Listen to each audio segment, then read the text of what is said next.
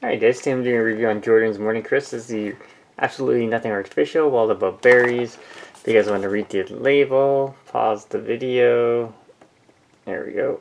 So, so that's what's inside. And it's French. And there we go.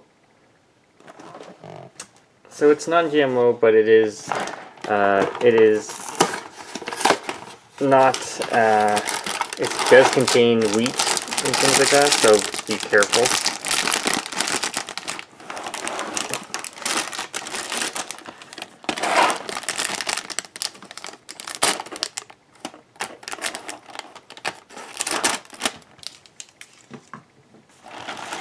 So let's do a quick taste test. There we go. We've got some. That is a cranberry. They're awesome when they are dehydrated like this. So. Uh, and these are freeze dried, so still kind of tart, but good. And these clusters are nice and crispy and